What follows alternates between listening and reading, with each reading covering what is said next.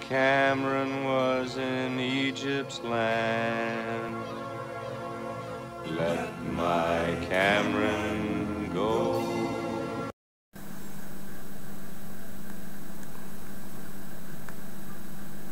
Hello, everyone out there. It's Nathan here again.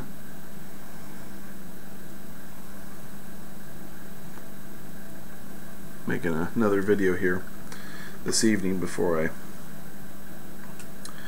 get concentrated on other things. Uh, still enjoying this 8 State Burley in my country gentleman.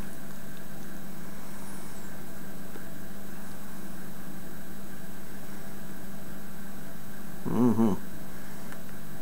So, brother Padre Piper got started on a June uh, call out list. Six questions.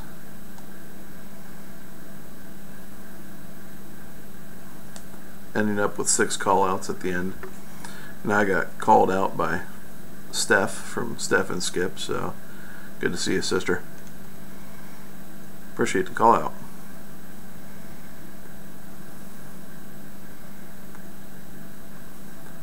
Been seeing videos from her just jumping all over my feed. She's been busy in there.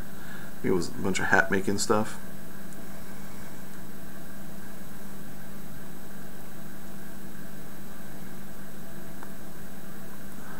So, all right. So the six questions, or the six things, you know, and let me just say this, Padre. You being, I, I think you, I think you're Anglican, if I remember correctly. Yeah, but you're getting June, sixth month, six questions, and then you end up with six callouts. Mm-hmm. This, you're getting close to the mark of the beast there, my friend. Mm. anyway.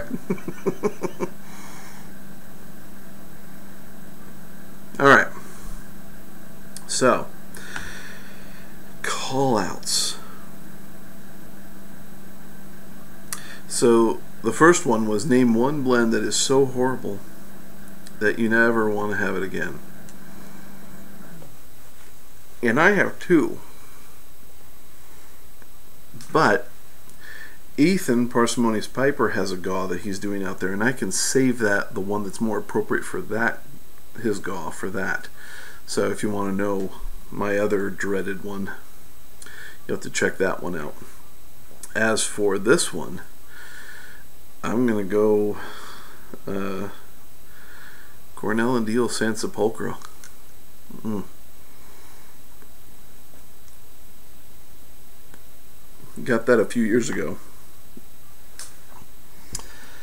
And just was so excited about it that I got two tins of it. And then came in the mail, pretty much immediately stuffed the pipe full. And didn't work. Halfway through the bowl, I just kind of felt like my throat was a little dry and tight. Like, yeah, okay, I'm not going to give another chance let it go a few weeks, try it again, same thing.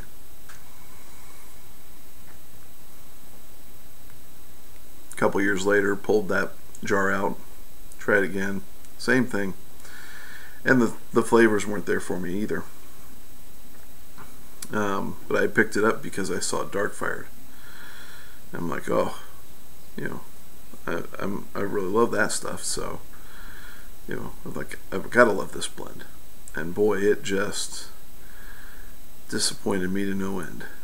So that for me would be my one, number one answer. Uh, second question was name two blends that you'd be all right with if you got stuck on a desert island.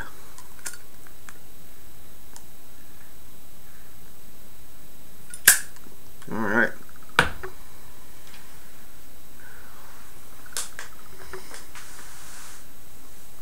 So, one for sure is Country Squire's Green Dragon. I'm telling you, that blend, mm,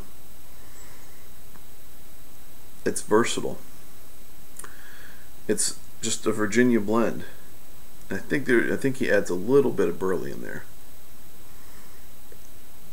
Nothing that I can tell. I think I heard him say it.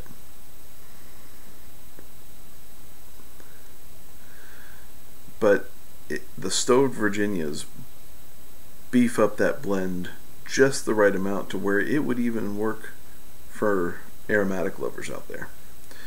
But it's all natural sweetness. It's it's beautiful. It's a great Virginia blend. It's probably my favorite Virginia out there. My other blend,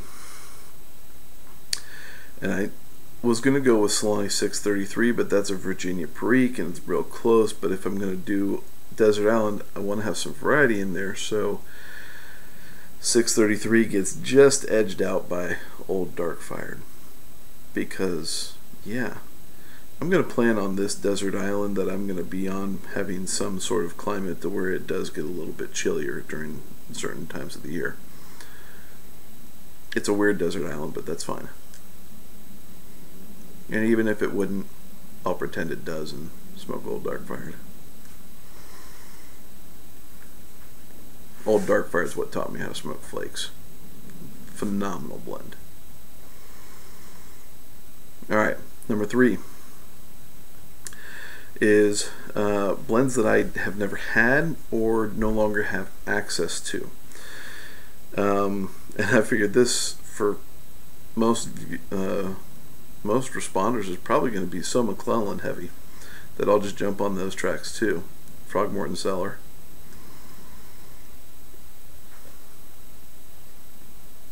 And almost anything else that Frog that McClelland did. Um, got so many. The couple of the GAWs that have had tins on there ready for the grabs, I'm sitting there thinking, oh, it's destined for me, it's destined for me.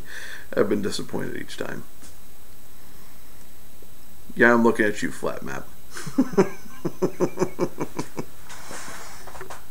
All right. Second one of those of those three is going to be Smokers Haven's Owens blend. It's not made anymore. Uh, it was actually produced for Smokers Haven by J.F. Germain and Sons. Um, and the reason why I want to have I would love to have that one is that's the blend that my dad and my grandfather used to share together. Um, yeah, so that's pretty easy one to come up with.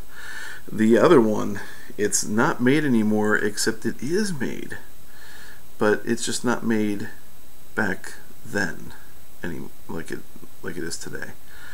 I love Capstan Blue Flake. It's phenomenal. Love it.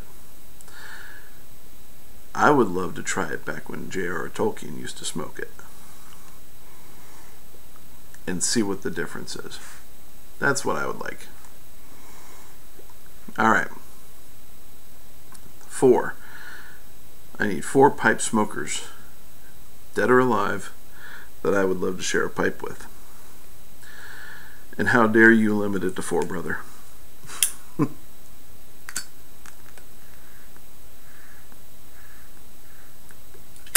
One. First one, I just did a VR response to Philly Piper on this one. It's my grandfather.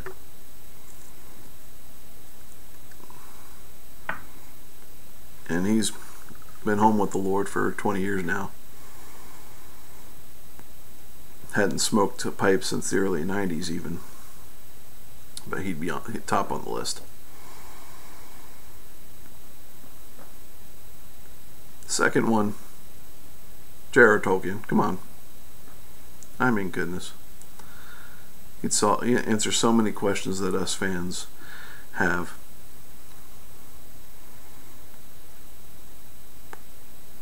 Third one is John Adams. Yeah, George Washington would be great. Thomas Jefferson would be great. Uh, ben Franklin would be very interesting guy to sit down and have a pipe with, but uh, John Adams would be very interesting to uh, to sit down and have a pipe with. Last but not least, and this one's actually, Lord willing, going to be fulfilled in August at the Columbus Pipe Show. I'll share a pipe with, actually, I'm going to combo this one with Doug E. Michigan Piper and the artist formerly known as Pittsburgh Piper, St. David Pipes. Yeah, that's happening. Lord willing. So, in August, that one can get checked off the list, hopefully. All right, uh, recommendations. Five recommendations, new guys uh, to new guys for pipe channels, and boy, you could go with endless things here. So,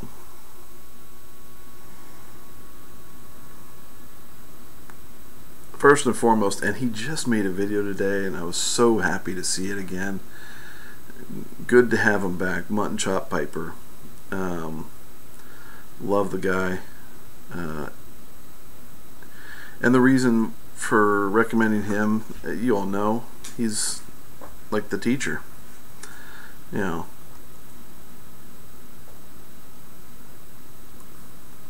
answers the questions that new pipe smokers have. He did for me. And uh, just a really respectable guy uh, in the hobby and in life, I believe. So that would be my first recommendation.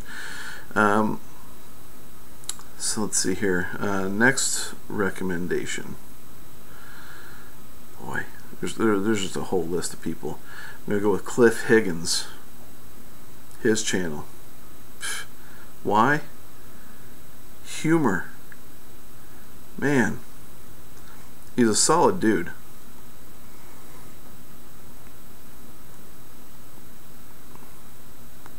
But he's got a good sense of humor.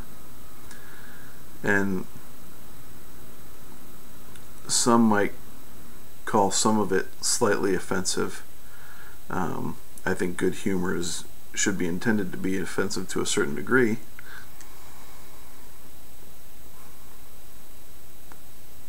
But he, he's got enough lightheartedness in there. Boy, it just takes the edge off of life sometimes. Next one. This guy's new. Ish. I mean, but he's new, but boy,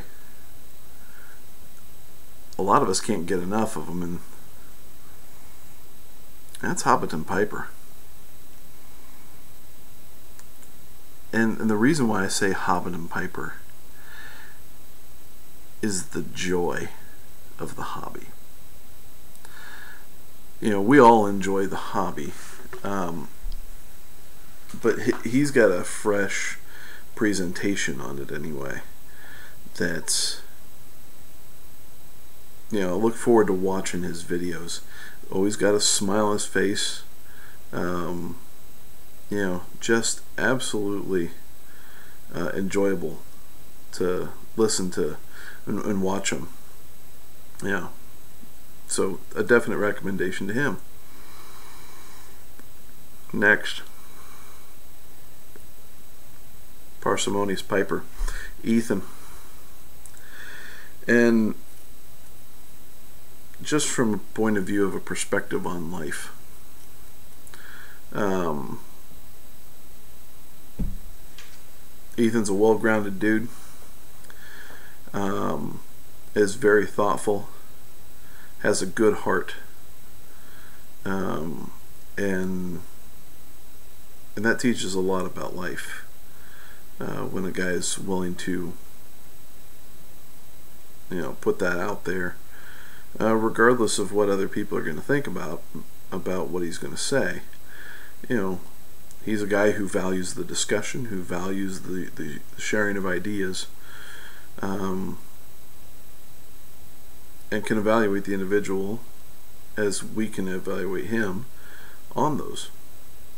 And so I'd absolutely recommend Ethan because, you know, he's a solid dude. Uh, last one that uh, on my recommendations list is George 416 or George 4ONE6 or I don't know how many. he changes his name more than Prince changes titles or P. Diddy changes his name. Yeah, I guess he would be the P. Diddy, I guess, of uh, the YTPC. but the reason I picked George, kindness. He's just the genuine article uh, in just being a kind soul. And all, all of these things for these five, when I put them out there lessons, humor, joy, life, and kindness they, they kind of hopefully encapsulate the typical pipe smoker. Someone who takes time to do all these things or to participate in all these things. So that's answer number five. I'm getting long winded here. So, uh, six, my call outs. Alrighty. Uh, so I got six here. Uh, Jason, Northwest Piper. Brother, think you've been busy haven't been making as many videos as you were a few months ago. Um, so hopefully this can instigate you to break out the camera uh, and do these six questions. Uh, next one, David, Mythical History. Um, boy, if you guys haven't checked him out, he's got a great channel. Um, you know, great smoking area. and he's got some good stuff, good stories, and just a good outlook. So check him out. Uh, but David, here the six questions go to you. Next, slow mo Randy. Uh, hopefully uh, you'll be able to get in front of the camera for one of these as well. I'm calling you out, brother. I'd like to hear what your answers to these. Uh, next, Ray, a sentimental man. Uh, let's get you answering some questions there he's doing a series on the history of tobacco. Uh, I think he's got two, three of them out there now. Uh, so it's definitely worth a listen to. Uh, next, Adam Angling Piper. Um, he, he, doesn't create a whole ton of videos out there, uh, but um, you know, just a good guy, grounded, down to earth dude. Uh, and hey, he's from Ohio. Can't go wrong with that. So, um, Adam, you're on the call out for these six questions. And next, this guy is practically brand spanking new. I think he's got a couple videos out there now. Uh, and he's over across the pond, I believe. Gary Millar. These six questions are to you, brother. Uh, so hopefully you'll get the next video out there. And he's got a just starting uh, his channel. So give him some sub love too, because um, you know seems like a real nice dude, and uh, really appreciates the uh, the community that we've got here. So.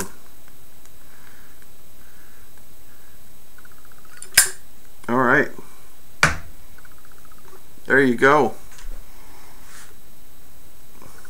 So, I'm going to sign off here let y'all go enjoy your day if you haven't already done so, or evening, whatever. Count your blessings, be thankful for them. And when all that's said and done, grace and peace to you.